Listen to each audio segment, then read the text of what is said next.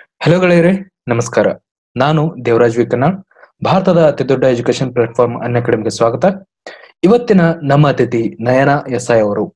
ಇವರು ಎರಡ್ ಸಾವಿರದ ಹದಿನೈದರ ಕೆ ಎಸ್ ಎಕ್ಸಾಮ್ನಲ್ಲಿ ಹದಿನೇಳನೇ ರ್ಯಾಂಕ್ ನೊಂದಿಗೆ ತೇರ್ಗಡೆಯಾಗಿ ಇವಾಗ ತಹಸೀಲ್ದಾರ್ ಆಗಿ ಕಾರ್ಯವನ್ನು ನಿರ್ವಹಿಸ್ತಾ ಇದ್ದಾರೆ ಗೆಳೆಯರೆ. ಇವರಿಂದ ಎಲ್ಲ ಮಾಹಿತಿಗಳನ್ನ ತಿಳ್ಕೋದಕ್ಕಿಂತ ಮುಂಚೆ ಇನ್ನೊಂದು ವಿಷಯ ಏನ್ ಹೇಳ್ಬೇಕಂತಂದ್ರೆ, ಎಸ್ ಕೆ ಟೆನ್ ಅನ್ನುವಂತ ಒಂದು ರೆಫರಲ್ ಕೋಡ್ ಅನ್ನ ತಾವು ಅನ್ ಅಕಾಡೆಮಿ ಪೇಡ್ ಸಬ್ಸ್ಕ್ರಿಪ್ಷನ್ ಅಥವಾ ಅನ್ ಅಕಾಡೆಮಿ ಪ್ಲಸ್ ಸಬ್ಸ್ಕ್ರಿಪ್ಷನ್ ಅನ್ನು ತಗೊಳಕ್ಕಿಂತ ಮುಂಚೆ ಯೂಸ್ ಮಾಡಿದ್ರೆ ಹತ್ತು ಪರ್ಸೆಂಟ್ ಡಿಸ್ಕೌಂಟ್ ಸಿಗತ್ತೆ ಅಂತ ಹೇಳಕ್ ಇಷ್ಟಪಡ್ತೀನಿ ಗೆಳೆಯರೆ. ಬನ್ನಿ ಅವರಿಂದ ವಿಷಯಗಳನ್ನು ತಿಳಿದುಕೊಳ್ಳೋಣ. ನಮ್ಮ ನಮ್ಮ ಕುರಿಗಳನ್ನ ಗುರಿಗಳನ್ನ ಆದಷ್ಟು ಬೇಗ ಮುಟ್ಟು. ನಮಸ್ಕಾರ madam welcome to an academy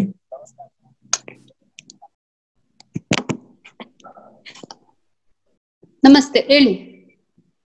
ಆ ನಯನ ಎಸ್ ಐ ಅವರು ಆ ಎರಡ್ ಸಾವಿರದ ಹದಿನೈದರ ಕೆ ಎಸ್ ಎಕ್ಸಾಮಿನೇಷನ್ ಅಲ್ಲಿ ಹದಿನೇಳನೇ ರ್ಯಾಂಕ್ ನೊಂದಿಗೆ ಕ್ರ್ಯಾಕ್ ಮಾಡಿ ಇವಾಗ ತಹಸೀಲ್ದಾರ್ ಆಗಿ ತಾವು ಒಂದು ಕಾರ್ಯವನ್ನು ನಿರ್ವಹಿಸ್ತಾ ಇದ್ರಿ ತುಂಬಾ ತುಂಬಾ ಕಂಗ್ರ್ಯಾಚುಲೇಷನ್ಸ್ ಮೇಡಮ್ ಮೊಟ್ಟ ಮೊದಲಿಗೆ. ಥ್ಯಾಂಕ್ ಯು ವೆರಿ ಮಚ್ ಮೊದಲನೇದಾಗಿ ತಮ್ಮ ಬಾಲ್ಯ ಹಿನ್ನೆಲೆ ಮತ್ತು ಹುಟ್ಟೂರಿನ ಬಗ್ಗೆ ಒಂದು ಬ್ರೀಫ್ ಇಂಟ್ರೊಡಕ್ಷನ್ ಅನ್ನ ನೀಡಿ ಮೇಡಮ್ ನಾನು ನಾನು ಆಕ್ಚುಲಿ ಶ್ರೀರಂಗ್ ಕೆ ಶೆಟ್ಟಳ್ಳಿ ಅಂತ ಒಂದ್ ಹಳ್ಳಿ ನಮ್ದು ಶ್ರೀರಂಗಪಟ್ಟಣ ತಾಲೂಕು ಮಂಡ್ಯ ಡಿಸ್ಟ್ರಿಕ್ಟ್ ನಾನು ಫಸ್ಟ್ ಇಂದ ಫಿಫ್ತ್ ತನಕ ಶ್ರೀರಂಗಪಟ್ಟಣದಲ್ಲೇ ಓದ್ದೆ. ಅದಾದ್ಮೇಲೆ ಕೂರ್ಗ್ ಕೂರ್ಗ್ಗೆ ಬೋರ್ಡಿಂಗ್ ಸ್ಕೂಲಿಗೆ ಸೇರಿಸ್ಕೊಂಡಿದ್ದು. ಅದ್ನಂತರ ಅದ ನಂತರ ಏತ್ ಟ್ವೆಲ್ತ್ ಮೈಸೂರು ಮರಿಮಲ್ಲಪ್ಪ. ಅದಾದ್ಮೇಲೆ engineering N I engineering B and M tech N I college of ಮೈಸೂರಿಂದ ನಂದು ಎಜುಕೇಶನ್ ಕಂಪ್ಲೀಟ್ ಆಗಿದೆ. ಮೊದಲನೇದಾಗಿ ತಮಗೆ ಇನ್ಸ್ಪಿರೇಷನ್ ಯಾರಾಗಿದ್ದು ಮೇಡಮ್ ಸ್ಪರ್ಧಾತ್ಮಕ ಪರೀಕ್ಷೆಗಳಿಗೆ ಬರಕ್ಕೆ. ಫಸ್ಟ್ ಆಫ್ ಆಲ್ ಸರ್ ನನ್ಗೆ ಮದ್ವೆ ನಾನ್ ಬಿ ಇ ಮಾಡಿ ಎಂ ಟೆಕ್ ಮಾಡಿದ್ದು ಮದ್ವೆ ಆದ್ಮೇಲೆನೆ. ಮದ್ವೆ ಆಗಿ ತ್ರೀ ಇಯರ್ಸ್ ಆಗಿತ್ತು. ಅದಾದ್ಮೇಲೆ ಮತ್ತೆ ಎಂ ಟೆಕ್ ಕಂಪ್ಲೀಟ್ ಮಾಡ್ಬೇಕು ಓದ್ಬೇಕು ಅನ್ನೋ ಇಂಟ್ರೆಸ್ಟ್ ಬಂತು ಕಂಪ್ಲೀಟ್ ಮಾಡ್ದೆ.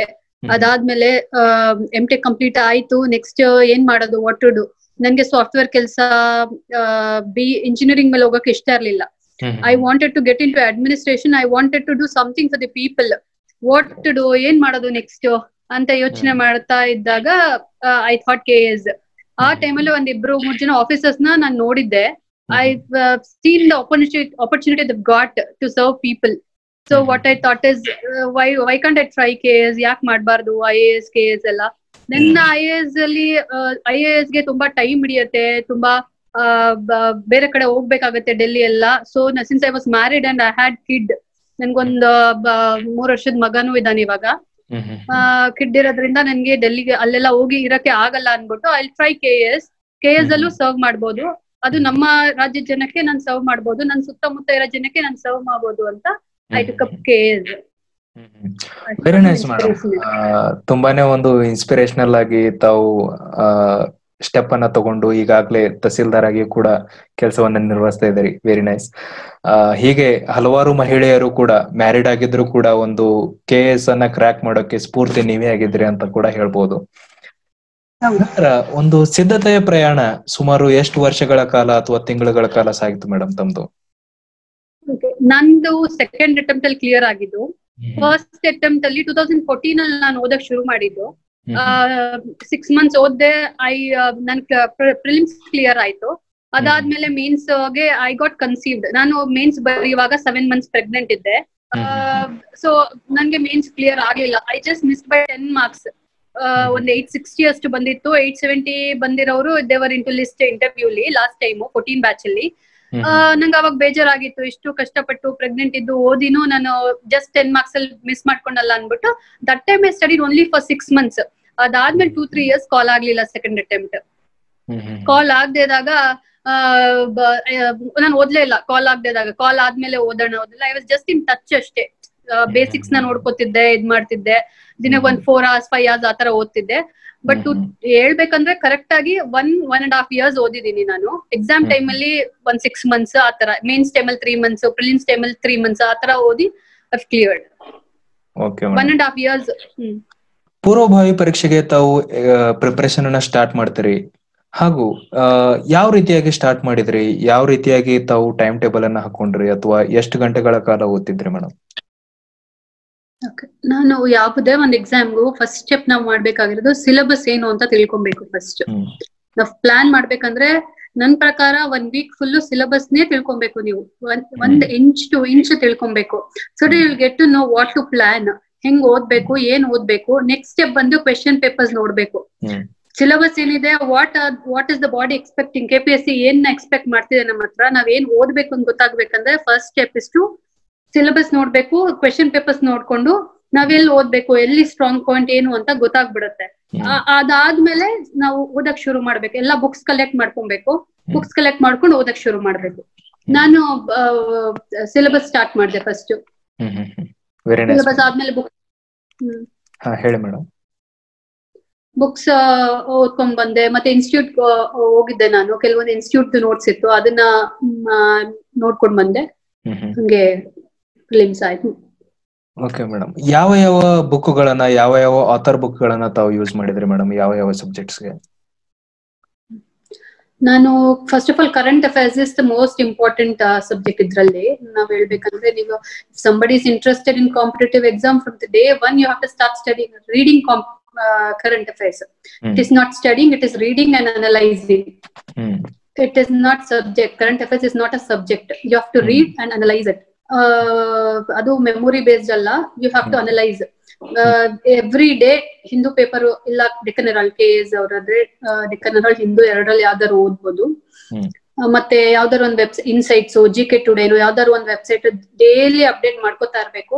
ಮತ್ತೊಂದ್ ಸಣ್ಣ ನೋಟ್ ಮಾಡ್ಕೋತಾ ಇರ್ಬೇಕು ದಿನಾಗ್ಲೂ ಸೊ ದಟ್ ನಿಮ್ಗೆ ಎಕ್ಸಾಮ್ ಟೈಮ್ಗೆ ಅದನ್ನ ರಿವೈಸ್ ಮಾಡಕ್ ಸರಿ ಹೋಗುತ್ತೆ. ಅದ ಅದ್ ಅವ- ಅದಲ್ದೆ ಎಷ್ಟೊಂದ್ ಮ್ಯಾಗಝಿನ್ಸ್ ಬರುತ್ತೆ ಸ್ಪರ್ಧಾ ಚೈತ್ರ ಸ್ಪರ್ಧಾ ವಿಜೇತ ಪ್ರತಿಯೋಗಿತ ದಪ್ಪಣ್ಣ ಆ, ಅದೆಲ್ಲ ಅದೆಲ್ಲ ನೋಡ್ಕೊಂಡ್ರೆ ಆಡೆಡ್ ಅಡ್ವಾಂಟೇಜ್ ಅಂತ ಹೇಳ್ತಾರೆ ಬಟ್ ನಾನು ಅದನ್ನೆಲ್ಲ ಅಷ್ಟೊಂದು ಟೈಮ್ ಇರ್ಲಿಲ್ಲ ನನ್ನ ಹತ್ರ. Since I had family to look after ನಾನು ಕ್ವೆಶನ್ ಇದು ನ್ಯೂಸ್ ಪೇಪರ್ಸ್ ಪ್ಲಸ್ ಒಂದು ವೆಬ್ಸೈಟ್ ಇನ್ಸೈಟ್ಸ್. ನಾನು ದಿನ ಫಾಲೋ ಮಾಡ್ತಿದ್ದೆ ಕರೆಂಟ್ ಅಫೇರ್ಸ್ಗೆ ನೆಕ್ಸ್ಟ್ ಹಿಸ್ಟ್ರಿಗೆ ಬಿಪನ್ ಚಂದ್ರ ಅಂತ ಇಂಡಿಯನ್ ಇಂಡಿಪೆಂಡೆನ್ಸ್ ಬಿಪನ್ ಚಂದ್ರ ಅದು ಓ- ಓದ್ತಿದ್ದೆ. ಫಿಲಿಮ್ಸ್ಗೆ ಸ್ಪೆಕ್ಟ್ರಮ್ ಓದಿದೀನಿ ನಾನು. ಸ್ಪೆಕ್ಟ್ರಮ್ ಅಂತ ಬುಕ್ ಬರುತ್ತೆ ಹಿಸ್ಟ್ರಿ ಅದು. ಪ್ಲಸ್ ಬಿಪನ್ ಚಂದ್ರ ಹಿಸ್ಟ್ರಿಗೆ ಜಿಯೋಗ್ರಫಿಗೆ eighth to twelfth N C R Ts. ಅಷ್ಟೇ ನಾನು ರೆಫರ್ ಮಾಡುದು. ಗೋಚನ್ ಲಿಯಾನ್ ಅಂತ ಒಂದ್ ಬುಕ್ ಇದೆ. ಅದು ಓದಿದ್ರೆ ಒಳ್ಳೇದು ಬಟ್ ನಾನು ಅದನ್ನೇನ್ ರೆಫರ್ ಮಾಡ್ಲಿಲ್ಲ. This was sufficient for K S for me hmm. Geography ಮತ್ತೆ ಎಕನಾಮಿಕ್ಸ್ಗೆ ಎಕನಾಮಿಕ್ಸ್ಗೆ ರಮೇಶ್ ಸಿಂಗ್ ಅಂತ ಒಂದ್ ಬುಕ್ ಇದೆ. ಅದು ಓದಿದ್ರೆ ಅದು ನಾನು ಓದಿದೆ ಎಕನಾಮಿಕ್ಸ್ ದೆನ್ ಎನ್ವೈರನ್ಮೆಂಟಲ್ಗೆ ಶಂಕರ್ ಐ ಎಸ್ ಅಂತ ಒಂದು ಡೆಲ್ಲಿ ಬೇಸ್ಡ್ ನೋಟ್ಸ್ ಇದೆ. ಅದನ್ನ ಓದಿದೆ. ದೆನ್ ಸೈನ್ಸ್ ಫಿಸಿಕ್ಸ್ ಕೆಮಿಸ್ಟ್ರಿ ಇದಕ್ಕೆಲ್ಲ N C R Ts eight to tenth N C R Ts is N of basic ಅದು. So N C R Ts ಓದಿದ್ದೆ. ಇನ್ಯಾವ ಸಬ್ಜೆಕ್ಟ್ ಇದೆ? Polity polity Lakshmikant polity Lakshmikant ಓದಿದ್ದೀನಿ. ಹ್ಮ್. Polity economics geography environmental mental ಎಬಿಲಿಟಿಗೆ Agarwal's ಅಂತ ಒಂದ್ book ಇದೆ. ಅದನ್ನ ಓದಿದೀನಿ. ಕರ್ನಾಟಕ ಎಕನಾಮಿಕ್ ಸರ್ವೆ ಓದ್ಬೇಕು ಇಂಡಿಯನ್ ಎಕನಾಮಿಕ್ ಸರ್ವೆ ಓದ್ಬೇಕು. Karnataka economic survey into point ತಿಳ್ಕೊಬೇಕು ಆ ಇಯರ್ದು ಇಂಡಿಯನ್ ಇಂಡಿಯನ್ದು ಸ್ವಲ್ಪ ಹೈಲೈಟ್ಸ್ ತಿಳ್ಕೊಂಡ್ರೆ ಫಿಲಿಮ್ಸ್ಗೆ ಯೂಸ್ ಆಗುತ್ತೆ. ಓಕೆ ಮೇಡಮ್ ನಂತರ ಮುಖ್ಯ ಪರೀಕ್ಷೆಗೆ ತಾವು ತಯಾರಿನ ಶುರು ಮಾಡ್ತೀರಿ ಪ್ರಿಲಿಮ್ಸ್ ಆದ್ಮೇಲೆ. ಯಾವ ರೀತಿಯಾಗಿ ತಾವು ತಯಾರಿಯನ್ನ ಸ್ಟಾರ್ಟ್ ಮಾಡಿದ್ರಿ ಮೇಡಮ್ ಮುಖ್ಯ ಪರೀಕ್ಷೆಗೆ? ಮೇನ್ಸ್ ಮೇನ್ಸ್ ಸಿಲೆಬಸ್ ಬೇರೆ ಪ್ರಿಲಿಮ್ಸ್ ಸಿಲೆಬಸ್ ಬೇರೆ ನನ್ ಪ್ರಕಾರ ಮೇನ್ಸ್ ಈಸಿ ಪ್ರಿಲಿಮ್ಸ್ ಗಿಂತ ಪ್ರಿಲಿಮ್ಸ್ಗೆ you have to study everything ಇಂಥದ್ದು ಅಂತ ಇಲ್ಲ ಮೇನ್ಸ್ಗೆ there is a particular syllabus they can't ಅದರಿಂದ ಹೊರಗಡೆ ಕೇಳಕ್ ಬರಲ್ಲ ಕೇಳಿದ್ರು ಒಂದು ಎರಡು ಕ್ವೆಶನ್ಸ್ ಇರುತ್ತೆ ಯು ಕ್ಯಾನ್ ಸಮ್ ಮ್ಯಾನೇಜ್ ಇದ್ರಲ್ಲೇ ಓದಿದ್ಮೇಲೆ ಮೇನ್ಸ್ ಸಿಲೆಬಸ್ ತಗೊಂಡಿದ್ದೆ ಮೇನ್ಸ್ ಸಿಲೆಬಸ್ ತಗೊಂಡು ಕರೆಕ್ಟ್ ಆಗಿ ತಿಳ್ಕೊಂಡೆ ಯಾವ ಸಬ್ಜೆಕ್ಟ್ ಅಲ್ಲಿ ಏನಿದೆ ಏನ್- ಏನ್ ಓದ್ಬೇಕು ಅನ್ನೋದು. ಪ್ರಿಲಿಮ್ಸ್ ಅಲ್ಲಿ ಕೆಲವೊಂದು ಓದಿರೋ ಟಾಪಿಕ್ಸ್ ಇತ್ತು. ಅದನ್ನ ತಕೊಂಡು ಓದ್ಕೊಂಡು ನೋಟ್ಸ್ ಮಾಡ್ಕೊಂಡೆ ನಾನು. ಎಲ್ಲಾ ಟಾಪಿಕ್ಗೂ ಎಲ್ಲಾ ಸಬ್ಜೆಕ್ಟ್ಗೂ ಒಂದೊಂದು ನೋಟ್ಸ್ ಇತ್ತು. ನಂದು ಎಕ್ಸಾಮ್ ಟೈಮ್ಗೆ ರಿವೈಸ್ ಮಾಡ್ಬೇಕು ನಾವು ಅದನ್ನ. ಮಾಡ್ಕೊಂಡು ರೈಟಿಂಗ್ ನಾನು ಇನ್ಸ್ಟಿಟ್ಯೂಟ್ಗೆ ಬರೀತಾ ಇದ್ದೆ. ಹಳೆ ಕ್ವೆಶನ್ ಪೇಪರ್ಸ್ ಮತ್ತೆ ಇನ್ಸ್ಟಿಟ್ಯೂಟ್ ಇಂದ ಕೂಡ ಕ್ವೆಶನ್ಸ್ ಐ ವಾಸ್ ರೈಟಿಂಗ್ ಬರ್ದು ನಾನು ಪ್ರಾಕ್ಟೀಸ್ ಮಾಡಿದ್ದೆ. ಅದು ನನ್ಗೆ ಯೂಸ್ ಆಯ್ತು. ಆ ನಂತರ ತಮ್ಮ ಒಂದು ಸಂದರ್ಶನದ ತಾವು ಸಂದರ್ಶನಕ್ಕೆ ಹೋದ್ರಿ ಕೆ ಎಸ್ ಮೇನ್ಸ್ ಆದ್ಮೇಲೆ. ಸಂದರ್ಶನದ ತಮ್ಮ ಅನುಭವವನ್ನ ಹಂಚ್ಕೋಬಹುದಾ ಮೇಡಮ್ ತಾವು? ಸಂದರ್ಶನ ಸಂದರ್ಶನಕ್ಕೆ ಅಂತ ಏನ್ ಸಪ್ರೇಟ್ ಪ್ರಿಪೇರ್ ಆಗ್ಬೇಕಾಗಿಲ್ಲ. ನಮ್ ಪ್ರಕಾರ ಒಂದು ಎರಡ್ ಎರಡ್ ಮೂರ್ ಮಾಕ್ ಇಂಟರ್ವ್ಯೂ ಕೊಟ್ರೆ ದಟ್ ಇಸ್ ಎನಫ್ ಯಾಕಂದ್ರೆ ನೀವು ವರ್ಷಾನ್ಗಟ್ಲೆಯಿಂದ ಓದಿರೋದೇ ಒಂದು ದೊಡ್ಡ ಎಕ್ಸ್ಪೀರಿಯನ್ಸ್ ನಿಮ್ಗೆ. ಮತ್ತೆ ಎಲ್ಲ. ನಾಲೆಜ್ ಅಂತೂ ಅಲ್ಲಿ ಬಂದಿರುತ್ತೆ. ಮೀನ್ಸ್ ಅಲ್ಲಿ ಓದಿರೋದು ಫಿಲಿಮ್ಸ್ ಓದಿರೋದು ಸಾಕು ನೀವು ಇಂಟರ್ವ್ಯೂಗೆ you just have to brush up revise ಮಾಡಬೇಕು. ಮರ್ತಿದ್ರೆ ಇವಾಗ ನಮ್ಗೆ ಸಿ ಸಿಕ್ಸ್ ಮಂತ್ಸ್ ಗ್ಯಾಪ್ ಇತ್ತು ಮೇನ್ಸ್ಗೂ interview that time I use to revise ಅಷ್ಟೇ. ಕರೆಂಟ್ ಅಫೇರ್ಸ್ ತಿಳ್ಕೊಬೇಕು. ಸಬ್ಜೆಕ್ಟ್ ಸ್ವಲ್ಪ ರಿವೈಸ್ ಮಾಡ್ಕೊಬೇಕು. ಒಂದ್ ಒಂದ್ ಎರಡು ಮಾಕ್ ಇಂಟರ್ವ್ಯೂ ಕೊಟ್ರು ಯುಲ್ ಗೆಟ್ ಎಕ್ಸ್ಪೀರಿಯನ್ಸ್ ಹೆಂಗ್ ಇದ್ ಮಾಡ್ಬೇಕು ಅಂತ. That is enough for interview okay madam ನಂತರ ಪ್ರಚಲಿತ ಘಟನೆಗಳನ್ನ ಕಲೆಕ್ಟ್ ಮಾಡೋಕೆ ಹಲವಾರು ಸ್ಟೂಡೆಂಟ್ಸ್ ಗಳಿಗೆ ಒಂದು ಗೊಂದಲ ಅಂತಾನೆ ಹೇಳ್ಬೋದು. ತಾವು ಈಗಾಗಲೇ ಹೇಳಿದ್ರಿ ವೆಬ್ಸೈಟ್ ಗಳನ್ನ ತಾವು ರೆಫರ್ ಮಾಡಿದ್ರಿ ಹಾಗೂ ನ್ಯೂಸ್ ಪೇಪರ್ ಗಳನ್ನ ರೆಫರ್ ಮಾಡಿದ್ರಿ ಅಂತ. ನ್ಯೂಸ್ ಪೇಪರ್ ಗಳಿಂದ ಯಾವ ರೀತಿಯಾಗಿ ಅವರು ಪ್ರಚಲಿತ ಘಟನೆಗಳನ್ನ ಸಂಗ್ರಹಿಸಬೇಕು ಅಂತ ತಾವು ಸಲಹೆಯನ್ನ ನೀಡ್ತಾರೆ ಮೇಡಮ್ ದಟ್ ಇಸ್ ತುಂಬಾ ಟ್ರಿಕ್ಕಿ ಇನ್ಶಿಯಲ್ ಬಂದಾಗ ನಮಗೂ ತ್ರೀ ಅವರ್ಸ್ ಆಗ್ತಾ ಇತ್ತು. ಒಂದೊಂದ್ಸಲಿ news paper first day when we started not only first day first two three months when we started ಏನಪ್ಪ ಪೇಪರ್ ಓದಕ್ಕೆ ತ್ರೀ ಫೋರ್ ಅವರ್ಸ್ ಆಗ್ಬಿಡುತ್ತೆ. ಬೇರೆದೆಲ್ಲ ಹೆಂಗ್ ಓದೋದು ಹ್ಮ್. ಫೀಲಿಂಗ್ ಎಲ್ಲಕ್ಕೂ ಇರುತ್ತೆ ಅದು ಇನ್ಶಿಯಲಿ. ಬಟ್ ನೀವು ಓದ್ತಾ ಓದ್ತಾ ಓದ್ತಾ ಇಲ್ಲಿ ಗೆಟ್ ಟು ನೋ ನಾವ್ ಅಲ್ಲಿ ಏನ್ ಓದ್ಬೇಕು ಅನ್ನೋದು. ಫಸ್ಟ್ ಡೇ ನೀವು ಲೋಕಲ್ ನ್ಯೂಸ್ ಇಂದ ಹಿಡಿದು ಎಲ್ಲಾನು ಓದ್ಕೊಂಡು ಹೋಗ್ತೀರಾ? ಅದಕ್ಕೆ ತ್ರೀ ಫೋರ್ ಅವರ್ಸ್ ಆಗುತ್ತೆ. You. Have to do it ನೀವು ನಿಮ್ಗೆ. ಅರ್ಥ ಆಗ್ಬೇಕಂದ್ರೆ ಯು ಹ್ಯಾವ್ ಟು ಸ್ಟಾರ್ಟ್ ಆ ಸ್ಟೇಜ್ ಇಂದಾನೇ ಸ್ಟಾರ್ಟ್ ಆಗ್ಬೇಕು. Then only will get to know ಹೆಂಗ್ ಓದ್ಬೇಕು ಅಂತ. ಫಸ್ಟ್ ಫಸ್ಟ್ ಪೇಜ್ ಕ್ಲಿಯರ್ ಆಗಿ ಫುಲ್ ಇಂಡಿಯನ್ ನ್ಯೂಸ್ ಇರುತ್ತೆ ಅದರಲ್ಲಿ. International Indian news first page is must ಯಾವಾಗ್ಲೂ. ಅದಾದ್ಮೇಲೆ ಒಳಗಡೆ ಈಗ ನಾನು ಮೈಸೂರು ಅಂದ್ರೆ ಆದ್ರೆ ಮೈಸೂರ್ದು ಇರುತ್ತೆ. I don't think that is needed ಮೈಸೂರ್ದು. ಲೋಕಲ್ದು ಇಟ್ ಇಸ್ ನಾಟ್ ನೀಡೆಡ್ ಅದಾದ್ಮೇಲೆ ಎಡಿಟೋರಿಯಲ್ ಅಂತ ಬರುತ್ತೆ ಒಂದು ತ್ರೀ. ಫೋರ್ ಪೇಜಸ್ ಎಡಿಟೋರಿಯಲ್ ಅಲ್ಲಿ ಯು ಹ್ಯಾವ್ ಟು ಸಿ ಅದು topic whether it is concern to ನಿಮ್ ಸಿಲಬಸ್ ಇದು ಎಷ್ಟೊಂದು ಪಾಲಿಟಿಕ್ಸ್ ಬಗ್ಗೆ ಕೊಟ್ಬಿಟ್ಟಿರ್ತಾರೆ. ಅದೆಲ್ಲ that is not needed politics ಬಗ್ಗೆ ಬಟ್ ಸಿಲಬಸ್ಗೆ ರಿಲೇಟೆಡ್ ಇದೆಯಾ ಅಂತ ಇದ್ರೆ ಹಂಡ್ರೆಡ್ ಪರ್ಸೆಂಟ್ ಓದ್ಲೇಬೇಕು. ನಿಮ್ಗೆ ಅವಾಗ ಗೊತ್ತಾಗ್ತಿರ ಯೂಸ್ ಏನು ಅಯ್ಯೋ ಇದರಿಂದ ಏನ್ ಬರುತ್ತೆ ಅಂತ ಅನ್ಸುತ್ತೆ but you will you will be very much helpful ಅದನ್ನ ಓದಿದ್ರೆ. ಬರೀವಾಗ ನೀವು ಪೆನ್ಸಲ್ ಬರೀವಾಗ ಎಲ್ಲಾನು ನಿಮ್ಗೆ ಆ ಪಾಯಿಂಟ್ ನೆನಪಾಗ್ತಾ ಇರುತ್ತೆ. ಅದರಿಂದಾನೇ ನಿಮ್ ನಾಲೆಜ್ ಅಪ್ ಆಗೋದು. So editorial is must editorial page ಏನ್ ಬರುತ್ತೆ ಅದು ಫುಲ್ ಪೇಜ್ ಓದ್ಬೇಕು.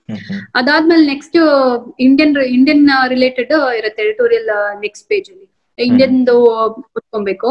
ಅದಾದ್ಮೇಲೆ ಎಕಾನಮಿ ರಿಲೇಟೆಡ್ ಇರುತ್ತೆ ನೆಕ್ಸ್ಟ್ ಪೇಜ್ ಎಕಾನಮಿ ಇದು ಇನ್ಫ್ಲೇಷನ್ ಇರ್ಬೋದು ಜಿ ಡಿ ಪಿ ರೇಟ್ ಇರ್ಬೋದು ಯಾಕೆ ಫ್ಲಕ್ಚುಯೇಟ್ ಆಗ್ತಿದೆ ಅಪ್ರಿಶಿಯೇಷನ್ ಡಿಪ್ರಿಷಿಯೇಷನ್ ಬಗ್ಗೆ ಇರ್ಬೋದು ಅದೆಲ್ಲಾನು ಕೊಟ್ಟಿರ್ತಾರೆ ಎಕನಾಮಿ ಇದ್ರಲ್ಲಿ.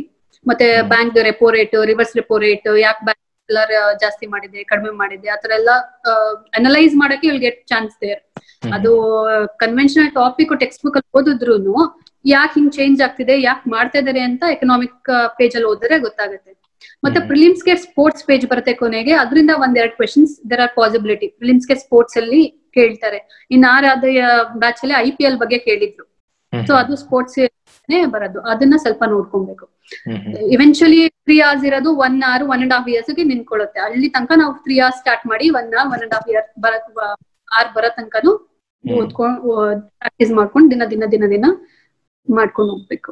ಓಕೆ ಮೇಡಮ್ ತುಂಬಾ ತುಂಬಾ ಧನ್ಯವಾದಗಳು. ಒಂದು ತುಂಬಾನೇ ಉಪಯುಕ್ತವಾದ ಒಂದು ಟ್ರಿಕ್ ಅನ್ನ ನೀಡಿದ್ರಿ ನ್ಯೂಸ್ ಪೇಪರ್ ಅನ್ನ ಅನಲೈಸ್ ಮಾಡೋಕೆ ನಂತರ ತಮ್ಮ ಒಂದು ಸ್ಟ್ರಾಂಗೆಸ್ಟ್ ಸಬ್ಜೆಕ್ಟ್ ಅಂತ ಯಾವುದು ಮೇಡಮ್ ನಮ್ಮ ತಮ್ಮ ಒಂದು ಸ್ಪರ್ಧಾತ್ಮಕ ಜರ್ನಿಯಲ್ಲಿ ನಂದು anthropology last time R D ತಗೊಂಡಿದ್ದೆ.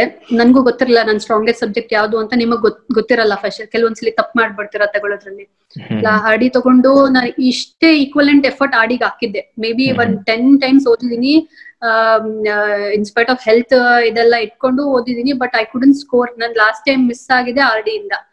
ಎಷ್ಟು ಎಫರ್ಟ್ ಹಾಕಿದ್ರು I got within two ninety ಅವ್ರ ತ್ರೀ ಹಂಡ್ರೆಡ್ ಬಂದ್ಬಿಟ್ಟಿದೆ. ಅದ್ರಲ್ಲಿ ನನ್ಗೆ ಒಂದ್. ಫಿಫ್ಟಿ ಮಾರ್ಕ್ಸ್ ಜಾಸ್ತಿ ಬಂದಿದ್ರೆ I would have selected last time ನಂಗೆ ಆಡಿನೇ ಇದ್ ಮಾಡಿ so what I thought is ನಾನು ಇದು ಎಷ್ಟು ಉದುರು ಆಗ್ತಾ ಇಲ್ಲ. ದಿಸ್ ಮೈ ವೀಕೆಸ್ಟ್ ಪಾಯಿಂಟ್ ಅನ್ಬಿಟ್ಟು ಅಂಡ್ ಅದನ್ನೇ ನಾನು ಆಪ್ಷನ್ ಅಲ್ಲಿ ತಗೊಂಡ್ಬಿಟ್ಟಿದೀನಿ. ಅದನ್ನ ನಾನು ಕರೆಕ್ಟ್ ಮಾಡ್ಕೊಬೇಕು ಈ ಸಲಿ ಅಂತ I took anthropology since I was from engineering background I was a biology student in P U I had. Strong hold on anthropology so I anthropology ನಾನು ಆಂಥ್ರೋಪಾಲಜಿನೇ ಓದೆ ಈ ಸತಿ ನನಗೆ ತ್ರೀ ನೈಂಟಿ ಬಂದಿದೆ anthropology last time two ninety. ಇತ್ತು. ಈ ಸಲ ಹಂಡ್ರೆಡ್ ಮಾರ್ಕ್ಸ್ ನಂದು ಮೇಲಾಗಿ I got selected this time that is my strongest subject very nice very nice ಈ ಸಲ ಕೆ ಎಸ್ ಮೇನ್ಸ್ಗೆ ಐಚ್ಛಿಕ ವಿಷಯಗಳು ಇಲ್ಲ. ಹಾಗಾದ್ರೆ ತಮ್ಮ ಒಂದು ಜನರಲ್ ಸ್ಟಡೀಸ್ ಹ್ಯುಮ್ಯಾನಿಟೀಸ್ ಅಥವಾ ಸೆಕೆಂಡ್ ಪೇಪರ್ ಆಗಿರ್ಬೋದು ಅದರಲ್ಲಿ ತಮ್ಮ ಸ್ಟ್ರಾಂಗೆಸ್ಟ್ ಸಬ್ಜೆಕ್ಟ್ ಯಾವುದು ಮೇಡಮ್ ಅದರಲ್ಲಿ ನನಗೆ polity see I am not a history student ನಾನು ಆರ್ಟ್ಸ್ ಇಂದ ಬಂದಿಲ್ಲ. ಸೊ ಹಿಸ್ಟ್ರಿ ನಂದು ವೀಕೆಸ್ಟ್ ನಾನು ಎಷ್ಟು. ಓದಿದ್ರು ಹಿಸ್ಟ್ರಿಲಿ ಅಷ್ಟು ನನ್ನ ಪಿಕಪ್ ಆಗಕ್ಕಾಗಲ್ಲ. ಸೊ. ಇಷ್ಟು ಜಸ್ಟ್ ಮಾಡರ್ನ್ ಮಾಡರ್ನ್ ಹಿಸ್ಟ್ರಿ ಓದ್ಕೋತಿದ್ದೆ ಅಷ್ಟೇ. ಜಿಯೋಗ್ರಫಿ ಇಸ್ ವಾಸ್ಟ್ ನೀವೇನ್ ಓದಿದ್ರು ಜಿಯೋಗ್ರಫಿ ಮುಗಿಯೋದೇ ಇಲ್ಲ. ತುಂಬಾ ಸಿಲೆಬಸ್ ಇದೆ. So you can't be strong strong enough in geography. ಒಂದು. ಇನ್ನೊಂದು ಎಕನಾಮಿಕ್ಸ್ ಎಕನಾಮಿಕ್ಸ್ ಇಸ್ ಆಲ್ಸೋ ಸ್ವಲ್ಪ ಕಾಮರ್ಸ್ ಎಕನಾಮಿಕ್ಸ್ ಸ್ಟೂಡೆಂಟ್ಸ್ಗೆ ಸ್ಟ್ರಾಂಗ್ ಅನ್ಸುತ್ತೆ. ಕೆಲವರು ಎಕನಾಮಿಕ್ಸ್ ಅಲ್ಲಿ strong but for me me polity was easy polity since I I had interest in this politics ಮತ್ತೆ current affairs ಅಲ್ಲಿ ಏನ್ ನಡೀತಿದೆ ಪಾಲಿಟಿಕ್ಸ್ ಅಲ್ಲಿ ಅದೆಲ್ಲ ನಂಗೆ ಇಂಟ್ರೆಸ್ಟ್ ಇದ್ರಿಂದ ನಂಗೆ ಪಾಲಿಟಿ ತುಂಬಾ ಈಸಿಯಸ್ಟ್ ಸಬ್ಜೆಕ್ಟ್ ಅಂತ ಅನಿಸ್ತಾ ಇದೆ ಎಲ್ಲರಿಗೂ ಪಾಲಿಟಿ ಯೂಶುವಲ್ ಆಗಿ ಹಾ ಹೇಳಿ madam. Polity would be most of the ಸ್ಟೂಡೆಂಟ್ಸ್ಗೆ ಈಸಿ ಅಂತ ಅನ್ಸುತ್ತೆ compare to all other subjects okay madam history ತಮಗೆ ಒಂದು ಟಫ್ ಆಗಿತ್ತು ಅಂತ ಹೇಳಿದ್ರಿ. ಹಾಗಾದ್ರೆ ತಾವು ಯಾವ ರೀತಿಯಾಗಿ ಹಿಸ್ಟ್ರಿಯನ್ನ ಹ್ಯಾಂಡಲ್ ಮಾಡಿದ್ರಿ ಮೇಡಮ್ ದಟ್ಸ್ ವಾಟ್ ಅದನ್ನೇ ಹೇಳಿದ್ ನಾನು. ಈಗ ಇದಿಷ್ಟ್ರಲ್ಲೂ ಕೆಲ್ ಎಲ್ಲಾನು ಓದ್ಬೇಕು ಅಂತಿರಲ್ಲ ಯಾಕಂದ್ರೆ. See one thousand seven fifty ಇತ್ತು ಅಂದ್ರೆ ತೌಸಂಡ್ ಸೆವೆನ್ ಫಿಫ್ಟಿನೂ ಯಾರು ತೆಗಿಯಲ್ಲ. Fifty percent of marks N enough hmm. That is smart work that smart ವರ್ಕ್ನ students follow ಮಾಡಬೇಕು ಫಸ್ಟ್ ಆಫ್ ಆಲ್ ನನ್ನ ಪ್ರಕಾರ. ಯಾವ್ದಾದ್ರು ಒಂದ್ subject if you weak you can leave fifty percent of it you can leave ಆಯ್ತಾ? See ಇವಾಗ ಹಿಸ್ಟ್ರಿಲಿ medieval ancient history medieval history modern history art and culture ಇದೆಲ್ಲ ಬರುತ್ತೆ ಹಿಸ್ಟ್ರಿಲಿ. ನಾನು ancient medieval I did not concentrate much I concentrate only on modern eighteen fifty seven revolt ಆದ್ಮೇಲೆ ಏನೇನ್ developments ಆಯ್ತು? Britishers ಇಂಡಿಯಾಗ್ ಬಂದ ಮೇಲೆ ಏನಂದ್ರೆ ಆತರ ನಾನು ಮಾಡರ್ನ್ ಇದ್ರ ಮೇಲೆ ಕಾನ್ಸಂಟ್ರೇಟ್ ಮಾಡ್ಕೊಂಡು ಹೋದೆ. ಬಾಕಿದೆಲ್ಲ ಬಿಟ್ಬಿಟ್ಟಿದ್ದೆ ನಾನು. ಅಷ್ಟು ಇದ್ ಮಾಡಿಲ್ಲ. ಪ್ರಿಲಿಮ್ಸ್ ಅಲ್ಲೂ ಅಷ್ಟೇನೆ. ಅದ್ರ ಮೇಲೆ ಕ್ವೆಶನ್ ಬಂದ್ರೆ ಯು ಕ್ಯಾನ್ ಲಿವ್ ಎಲ್ಲಾನು ನಾವ್ ಆನ್ಸರ್ ಮಾಡ್ಬೇಕು ಅಂತ ಏನಿಲ್ಲ. ಸೊ ಯಾವ್ದು ಸ್ಟ್ರಾಂಗ್ ಪಾಯಿಂಟ್ ಇರುತ್ತೆ? ಆಗದೇ ಇರೋದನ್ನ ಜಾಸ್ತಿ ಟೈಮ್ ವೇಸ್ಟ್ ಮಾಡಿ ಮೆಮೊರಿಗೆ ಬರ್ದೇ ಇರೋದನ್ನ ಟೈಮ್ ವೇಸ್ಟ್ ಮಾಡೋ ಬದಲು ಅದನ್ನ ಬಿಟ್ಟು ಯಾವ್ದು ಸೆಲೆಕ್ಟ್ ಮಾಡ್ಬೇಕು? ನೀವ್ ಯಾವ್ದು ಸ್ಟ್ರಾಂಗ್ ಇದ್ರೆ ಅದ್ರ ಮೇಲೆ ಜಾಸ್ತಿ ಕಾನ್ಸಂಟ್ರೇಟ್ ಮಾಡಿದ್ರೆ ವಿಲ್ ಬಿ ಸಕ್ಸಸ್ಫುಲ್ ನನ್ನ ಪ್ರಕಾರ. ವೆರಿ ನೈಸ್ ಮೇಡಮ್ ತುಂಬಾನೇ ಒಂದು ಉಪಯುಕ್ತವಾದ ಪಾಯಿಂಟ್ ಅನ್ನ ನೀಡಿದ್ರಿ ನಮ್ಮ ಸ್ಟೂಡೆಂಟ್ಸ್ಗೆ ಹೀಗೆ ಹಲವಾರು ಸ್ಟೂಡೆಂಟ್ಸ್ ಗಳಿಗೆ ಹಲವಾರು ರೂಮರ್ಸ್ ಬರ್ತಾ ಇರುತ್ತೆ ಎಕ್ಸಾಮಿನೇಷನ್ ಅನ್ನ ಕ್ರ್ಯಾಕ್ ಮಾಡೋಕೆ ಆ, ರೀತಿ. ಅಂದ್ರೆ ಸ್ವಲ್ಪ ಪ್ರಾಬ್ಲಮ್ಸ್ ಆಗ್ತಿರತ್ತೆ ಹಾಗೂ ಡಿಸ್ಟ್ರಾಕ್ಷನ್ಸ್ ಕೂಡ ತುಂಬಾನೇ ಇರುತ್ತೆ. ಅಂತಹ ಸ್ಟೂಡೆಂಟ್ಸ್ ಗಳಿಗೆ ತಮ್ಮ ಒಂದು ಸಲಹೆ ಏನು ಮೇಡಮ್ ಇಲ್ಲ rumours rumours ninety eight batch ಇಂದ ಇದೆ. ಇನ್ನು ಹೈಕೋರ್ಟ್ ಅಲ್ಲಿ ಅದೆಲ್ಲ ನಡೀತಾನೆ ಇದೆ. ಇಟ್ ಇಸ್ ಲೈಕ್ ಇಂಟರ್ವ್ಯೂ ಹಂಗ್ ನಡೆಯುತ್ತೆ ಹಿಂಗ್ ನಡೆಯುತ್ತೆ. I don't think there are many ಎಷ್ಟೊಂದ್ ಜನ ಆಗಿರೋರು ತುಂಬಾ ಬಡವರ ಮಕ್ಕಳು ತುಂಬಾ ಕಷ್ಟಪಟ್ಟು ಓದಿರೋರು ನೈಂಟಿ ಪರ್ಸೆಂಟ್ ಆಫ್ ದೆಮ್ ಒಂದ್ ಕ್ವೆಶನ್ ನಾವ್ ಹಾಕೊಬೇಕಾಗಿರೋದು ನೈಂಟಿ ಪರ್ಸೆಂಟ್ ಇವ್ರ ಹೆಂಗ್ ಹೋದ್ರು ಅಲ್ಲಿಗೆ ಅನ್ನೋದು. ಹಂಡ್ರೆಡ್ ಪರ್ಸೆಂಟ್ ಆತರನೇ ಆಗ್ಬಿಟ್ರೆ ನೈಂಟಿ ಪರ್ಸೆಂಟ್ ಅವ್ರು ಹೆಂಗ್ ಹೋದ್ರು ಅಲ್ಲಿಗೆ? It is their hard work it is their hard work hard work has paid so don't get distracted it is not. Hundred percent negative ಆಗಿ ಥಿಂಕ್ ಮಾಡಬೇಕಾಗಿಲ್ಲ. ಫಸ್ಟ್ ಆಫ್ ಆಲ್ ನನ್ನ experience your hard work pays your hard work pays don't ನೀವು ಈ distractions ಗೆಲ್ಲ ತಲೆ ಕೊಡ್ಬೇಡಿ. ಇದೆಲ್ಲ ಇದ್ದೇ ಇರುತ್ತೆ ಹಂಗ್ ಮಾಡ್ಬಿಡ್ತಾರೆ ಹಿಂಗ್ ಮಾಡ್ಬಿಡ್ತಾರೆ. No that is. On all or one five percent it might work not. Hundred percent thing distractions ಬಗ್ಗೆ ಹೇಳೋದಾದ್ರೆ. ಇನ್ನು ನೆಕ್ಸ್ಟ್ ಇನ್ನೊಂದ್ ಏನ್ ಕ್ವೆಶನ್ ಕೇಳಿದ್ ನೀವು? ಹಲವಾರು ಒಂದು ಅವರು ಸ್ಟಡಿ ಮಾಡೋಕ್ಕೂ ಕೂಡ ಹಲವಾರು ಒಂದು ಕಷ್ಟಗಳು ಬರ್ತಾ ಇರುತ್ತೆ. ಇನ್ನೇನಪ್ಪ ಸಾಕು ನನಗೆ ಪ್ರಿಪರೇಷನ್ ಅನ್ನುವಂತ ಒಂದು ಸ್ಟೇಜ್ ಅಲ್ಲೂ ಕೂಡ ಬಂದಿರ್ತೀರಿ. ತಾವು ಕೂಡ ಇದನ್ನ ಫೇಸ್ ಮಾಡಿರ್ಬಹುದು ಆ ಒಂದು ಸಿಚುವೇಶನ್ ಅಲ್ಲಿ ತಾವು ಯಾವ ರೀತಿ ಹ್ಯಾಂಡಲ್ ಮಾಡಿದ್ರು ಅಥವಾ ಸ್ಟೂಡೆಂಟ್ಸ್ ಕೂಡ ಅದೇ ಒಂದು ಸಿಚುವೇಶನ್ ಅಲ್ಲಿ ಇದ್ದಾಗ ಯಾವ ರೀತಿ ಹ್ಯಾಂಡಲ್ ಮಾಡ್ಬೇಕು ಅಂತ ತಾವು ಸಲಹೆಯನ್ನು ನೀಡ್ತೀರಿ ಮೇಡಮ್ ಅದು that is to that is every aspirant will face that not only me are the study ಇಲ್ಲಿರೋ ಸ್ಟೂಡೆಂಟ್ಸ್ ಎಲ್ಲರಿಗೂ ಕೆಲವೊಂದು ವೀಕ್ ಪಾಯಿಂಟ್ಸ್ ಇರುತ್ತೆ ಕಷ್ಟ ಇರುತ್ತೆ. ಇದು- this is not two months three months preparation it goes years two years three years two. Years three years ಯಾವ್ದೇ ಕಷ್ಟ ಬರದೆ ಯಾವುದೇ ವೀಕ್ ಪಾಯಿಂಟ್ ಬರದೆ ಯಾರು ಇರಕ್ಕಾಗಲ್ಲ. ಕೆಲವ್ರಿಗೆ ಅನ್ಸುತ್ತೆ ನಾನ್ ಕರೆಕ್ಟ್ ದಾರಿಲಿ ಹೋಗ್ತಾ ಇದೀನಾ ನಾನ್ ಮಾಡ್ತಿರೋದ್ ಕರೆಕ್ಟ್ ಈ ಕಡೆ ಟೈಮ್ ವೇಸ್ಟ್ ಮಾಡ್ತಾ ಇದೀನಾ ಕರಿಯರ್ ಹಾಳು ಮಾಡ್ಕೋತಾ ಇದೀನಾ ಏನು. ಮಾಡ್ದಂಗೆ ಸುಮ್ನೆ ಆಗ್ಬಿಟ್ರೆ ಏನ್ ಮಾಡೋದು? ಎಲ್ಲಾ ಫಸ್ಟ್ ರ್ಯಾಂಕ್ ಬಂದಿರೋರ್ಗೂ ಅದಿರುತ್ತೆ ಮನ್ಸಲ್ಲಿ. ಯಾರು ಫಸ್ಟ್ ರ್ಯಾಂಕ್ ಬಂದಿರುತ್ತೆ ಅಂತ ಅನ್ಕೊಂಡಿರಲ್ಲ ಎಲ್ಲಾರ್ಗು ಇರುತ್ತೆ. ಎಲ್ಲಾರು ನಾವೆಲ್ಲ ಅನ್ಕೊಳ್ಳೋದು ಇಷ್ಟೇನೆ. ಆಪ್ಟಿಮಿಸ್ಟಿಕ್ ಆಗಿ ಥಿಂಕ್ ಮಾಡ್ಬೇಕು. Positive hard work pay pays ನಮ್ಗೆ ಪಾಸಿಟಿವ್ ರಿಸಲ್ಟ್ಸ್ ಬಂದೇ ಬರುತ್ತೆ. ಕಷ್ಟ ಇದು ಎಲ್ಲ ಒಂದ್ ಟೂ ತ್ರೀ ಇಯರ್ಸ್ ಹೌದು ನಮ್ ಜರ್ನಿಲಿ ಕಷ್ಟ ಯಾವ್ದು ಕಷ್ಟ ಪಡ್ದೆ ಸಿಕ್ಕಲ್ಲ ಜರ್ನಿಲಿ ಟೂ ತ್ರೀ ಇಯರ್ಸ್ ಕಷ್ಟ ಇದ್ದೇ ಇರುತ್ತೆ.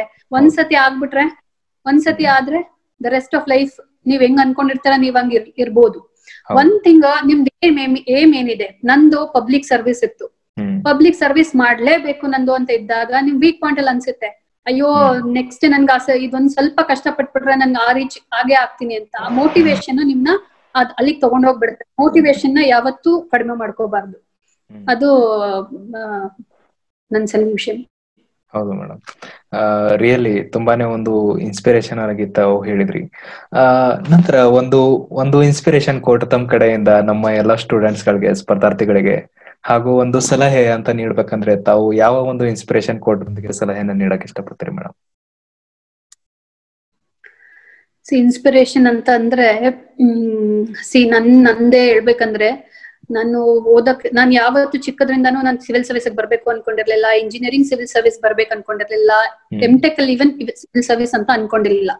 I just decided one year before ಒಂದೇ ವರ್ಷ ಹಿಂದೆನೆ ನಾನ್ ಕೆಲವೊಂದು ಆಫೀಸರ್ಸ್ನ ನೋಡಿ they all have opportunity serve people this is the way to serve people ಅನ್ನೋದು ನನಗೆ ಐಡಿಯಾ ಗೊತ್ತಾಗಿದ್ದು. ಅಲ್ಲಿ ತನಕ what I thought is K S I S ಎಲ್ಲ ಮಾಡೋರು ತುಂಬಾ ಬ್ರೇನೀಸು ತುಂಬಾ ಎಲ್ಲೋ ಇದ್ದವ್ರು ಮಾಡ್ತಾರೆ ನಾರ್ಮಲ್ ಪೀಪಲ್ ಮಾಡಕ್ ಆಗಲ್ಲ ಆ ತರಾನೇ ನನ್ ಮೈಂಡ್ ಅಲ್ಲೂ ಇದ್ದಿದ್ದು.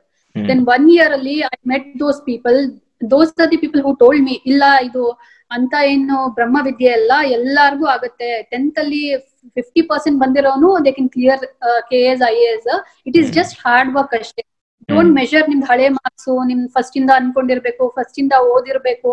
ಇಸ್ ನಥಿಂಗ್ ಅಸ್ ಸಚ್ ನೀವ್ ಕರೆಕ್ಟ್ ಆಗಿ ನನ್ ಪ್ರಕಾರ ಒಂದ್ ವರ್ಷ ದಿನ ಏಟ್ ಟು ಟೆನ್ ಅವರ್ಸ್ ಓದಿದ್ರೆ ಸಿಲೆಬಸ್ ಏನು ಅಂತ ತಿಳ್ಕೊಂಡು ಆ ನಿಟ್ಟಿನಲ್ಲಿ ಮಾಡಿದ್ರೆ anybody can crack this there is ಯಾವ್ದು ಪ್ರೀ ಕಂಡೀಷನ್ಸ್ ಬೇಡ ಇದಕ್ಕೆ. ಫಸ್ಟ್ ಫಸ್ಟೇ ಓದಿರ್ಬೇಕು ಏ ಇದಿರ್ಬೇಕು ಅನ್ನೋ ದಸ್ ನಥಿಂಗ್ ಇವತ್ತು ಈಗ ನನ್ ಯಾರು ಒಬ್ರು housewife twenty eight years ಆಗಿರುತ್ತೆ ಅವ್ರಿಗೆ.